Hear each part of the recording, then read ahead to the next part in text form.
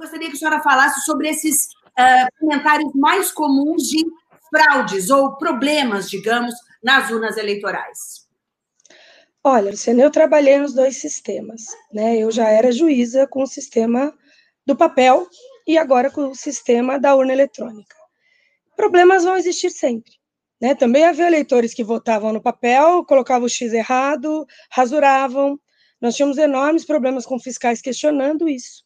Se você soubesse o tempo que nós passávamos com fiscais dizendo o X está no lugar errado, esse voto é válido, não é válido, muito maiores do que hoje. O que acontece é que somos humanos. No momento, às vezes, o eleitor está ali, ele erra um número, depois ele fala: olha, mas meu voto não apareceu. Eu votei em tal candidato e não tem porque, na verdade, ele errou um número. Isso acontece, Isso acontece a mais de um candidato, por exemplo, a, a, vereador e a prefeito, que é o caso agora dessas eleições de dois hum. ou no caso deputado, enfim, é, é, trocavam a ordem, é isso? Sim. Às vezes a pessoa erra a ordem. Então, se você, por exemplo, quando vai votar para vereador, colocou o número do prefeito, você votou no partido é computado e seu voto é válido. A hora que a pessoa vai votar depois, ela quer pôr o número do vereador? Não é possível, porque ela já votou para vereador. Então, às vezes, algum questionamento nesse sentido, não tem nenhum problema na urna. Né? Está perfeito, a pessoa é que errou. Ou, às vezes, na hora de colocar o número do vereador, são muitos números, se a pessoa não leva uma cola, ela erra nos números. Aí ela vai lá na zona dela e fala, mas não tem nenhum voto para esse vereador. Às vezes pode acontecer. Ela errou na hora que ela digitou o voto. Porque a urna, isso é muito importante que você tenha em mente, a urna é muito simples. Ela não tem acesso a nenhuma rede. Ela é como uma torradeira. Né? Ela tem aquele fio que, que. A torradeira não tem aquele fio que é ligado na tomada. É aquilo. A urna não tem toda essa tecnologia que se imagina que ela tenha. Ela não tem um software, ela não recebe dados externos, né? ela não tem toda essa informação que se imagina que ela tenha. Nós temos todo um processo, quando a urna acabou a eleição, a urna vai para o cartório eleitoral. Tem todo um processo para que a urna fique ali bonitinha, antes da eleição. Eu, juiz eleitoral, promotor eleitoral, funcionários do cartório, os partidos podem mandar representantes, o AB pode mandar advogado. Quem quiser ir lá pode ir, isso sai no Diário Oficial antes, para que as pessoas saibam a data. A urna é lá, bonitinho, os dados são colocados, ela é lacrada. Então, ali tem um lacre. O lacre é físico, todo mundo assina, certo? Tá lá. Se houver alguma tentativa de mexer naquela urna, aquele lacre é rompido. Nós saberemos, porque tem as assinaturas, não tem como refazer aquilo sem que se saiba que houve uma tentativa, certo? No dia da eleição, no momento ali da urna começar a funcionar, é colocado um código e é impresso uma, um negócio que nós chamamos de zerésima, que é o quê? Vai dizer que tem zero votos para cada um dos candidatos. Aquilo é conferido. Todos os partidos podem mandar um fiscal e mandam, que nós sabemos como a democracia é levada a sério no nosso país. Então, os principais partidos sempre mandam esses fiscais que vão ali, acompanham, para verificar tudo isso vai para o cartório eleitoral, a zerésima de cada urna, tudo bonitinho, tá lá, zero. Cada urna tá lá com seu zerozinho, né? Zero candidatos. Perdão, zero votos para cada candidato. Foi. Foi feita a eleição, tudo bonitinho. No final, cada uma das zonas vai emitir o boletim de urna que vai dizer quantos votos para cada candidato ela tem. Então tá lá, X votos. Isso vai para os partidos. Tanto que às vezes os partidos, antes da gente, já sabem. Eles fazem essa soma e eles verificam. Por que, que às vezes a pessoa já sabe que é porque o prefeito já ganhou, que o governador ganhou? Porque cada zona emite cinco desses. E cada um vai para um lugar. Ele, um fica ali em cada zona. Com base nisso, os partidos conferem. Então, quando as pessoas falam não tem nada impresso, né, não tem papel nenhum, tem sim. Tudo isso é colado, tudo isso é acompanhado. Você tem como verificar. É tudo muito organizado, gente. Não é essa bagunça que se imagina. E quando o eleitor vota, né, todo mundo que vota sabe, o mesário vai lá, ele digita o título, aparece a fotinho, ele compara, né, para ver se a pessoa que está lá é a pessoa que está ali indicada, que vai votar. Depois que nós colocamos o voto, tem todo um mecanismo que criptografa esses dados para que não se possa verificar. O voto é sigiloso, né? Quem votou em quem. Mas aquela informação fica ali. Isso fica naquela urna. Se a urna teve algum problema, nós precisamos substituir, nós temos urnas de contingência. Isso fica, aquela informação fica naquela urna. A urna tem um pendrive, né? Ela tem as informações, isso é, é recolocada na urna que vai ficar no lugar. Então, nenhuma informação é perdida. Tudo isso fica ali, pode ser conferido. Então, não é necessário que você imprima o seu próprio voto para que você confira. Os partidos têm uma lista dos eleitores, entendeu? Basta que eles verifiquem quantos são os votos, quantos são os eleitores. Tem voto a menos? Tem voto a mais? Certo. Essa questão da impressão a gente vai falar já já, que inclusive é um projeto de, de emenda constitucional. É uh, da, de uma deputada que justamente quer a impressão do voto, né? Ela e tantas outras pessoas. Mas antes disso, uma das críticas uh, que se faz ao, ao sistema de apuração é justamente esse, é que não teria o acompanhamento de outras pessoas. Então, os partidos políticos participam uh, de todo esse processo. São os primeiros, ou podem ser os primeiros a receber esse documento, essa, essa lista dos votos da, de cada sessão, né?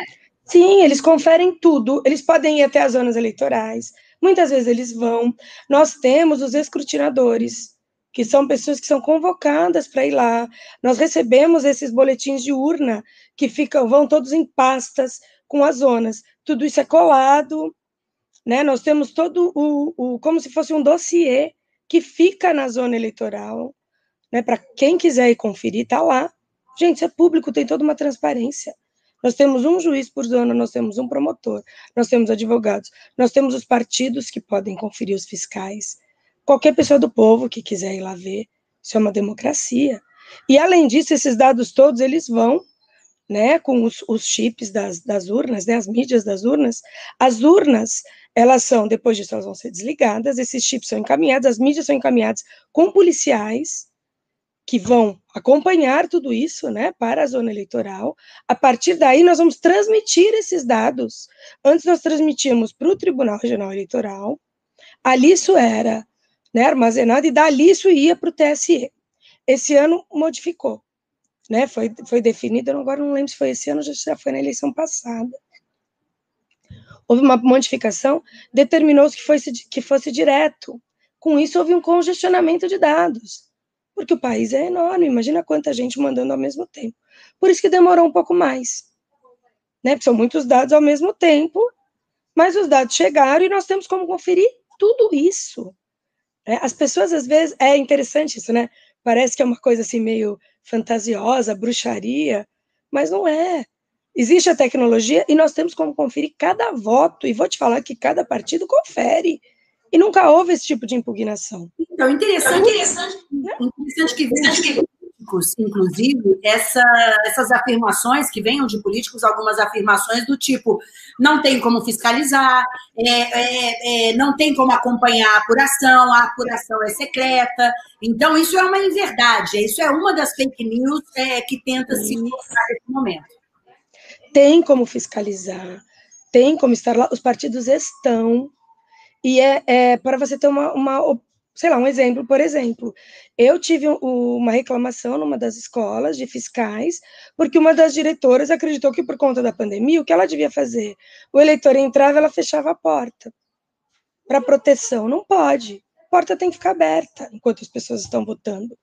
Né, existem vários mesários ali que também estão verificando, mas o fiscal dos partidos ele tem que olhar e ver o que está acontecendo. Porque né? A gente não sabe, vai que o mesário está falando alguma coisa. Doutora, então eu precisei dar essa informação. Foi um fiscal de um partido que falou. Aham, que foi aqui. Agora, com relação a, a haver uma auditoria, por exemplo, a outra crítica também de que o Tribunal Superior Eleitoral é ele quem vai justamente julgar as queixas, né, avaliar, apurar as queixas, julgar é, é, é as, as queixas, é, investigar e julgar né? Mas esse caso também tem acompanhamento, também é, é, é passível ter o acompanhamento de, de, da sociedade civil? Sim, e além disso, se você for verificar, inclusive lá no TSE, tem todo um material a esse respeito. No dia da eleição, são feitas auditorias, são, tem urnas que são escolhidas aleatoriamente para que seja feito essa auditoria. Um ano antes da eleição, quem quiser se cadastrar para fazer testes, pode fazer. Alguma vez você soube de algum teste que tenha sido feito e que tenha apontado alguma irregularidade, algum problema? A gente vê muito vídeo de pessoas dizendo que fez, que mas alguma coisa oficial, se tivesse alguma coisa tão séria, isso já não teria aparecido? Sim, tá lá. Então, então, que foi algo doloroso, né, ponto de, de fato, interferir no resultado de, de, eleição. Mas, inclusive, disse o próprio, agora, presidente do Tribunal Superior Eleitoral, o ministro Luiz Barroso, que nunca houve nenhuma comprovação de fraude em todos esses anos de urna eletrônica. Né? Então, isso, isso é fácil. Isso é fácil. Mas o que dizem? Eu até anotei o que diz que um dos críticos agora que tenta essa questão de voto impresso tal, diz o seguinte: se não temos como garantir que houve fraude, eles também não têm como garantir que não houve. Olha só o, o, o, a inversão é, da coisa, né? E diz mais: quanto mais se reluta quanto contra o voto impresso, que é o que querem, não sei por que motivo, mais aumenta a desconfiança da população. Ou seja, quem está tentando mostrar que o nosso sistema é seguro, mais seguro a inversão é sexual. Olha, é, ele está indo contra a, a, a clareza do voto impresso.